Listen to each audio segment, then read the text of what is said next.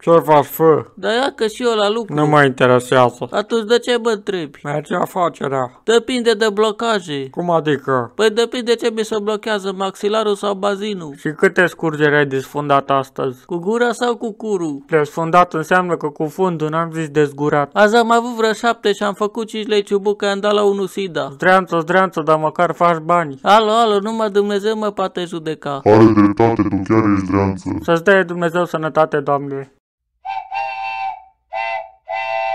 În sfârșit stau și eu în pat, noapte bună.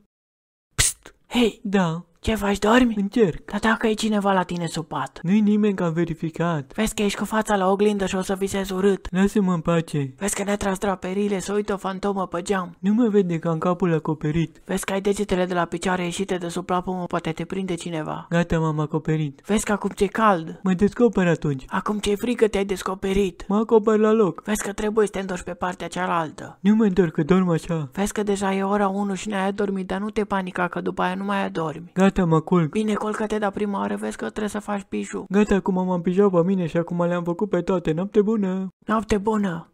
Dar becul nu-l stingi.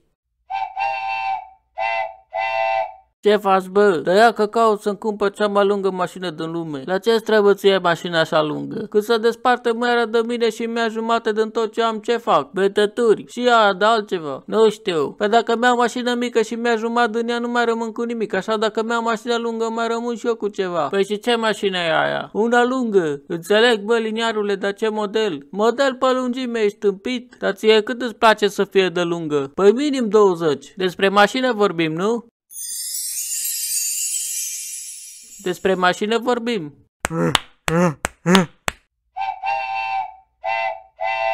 Ei, tu ți-ai făcut vreodată test de IQ? Nu știu, frate, nu-ți dă aici. Test din ăla ce-ți arată dacă e cineva la tine în cap. Pe cine să fie la mine în cap? Nu știu, frate, poate creierul? Bă, ce să caute el la mine în cap? Hai dreptate, n-are ce să caute el acolo. Dar tu ți-ai făcut? Am făcut, da. Și ce ți-a ieșit? Am zis că am IQ de 10. Mamă, frate, știam eu că tu ești deștept. Păi na, eu am mai citit și Fra Ursul Polar. Le-a arătat tu, frate. Da, și după aia mi-a mai și interzis accesul în cabinet. Păi ce-au zis? Mi-a aruncat hârtia la gunoi să nu vadă guvernul și după aia mi-a zis Ieși odată de aici și să nu te mai prind în cabinet că ești deștept în calea afară.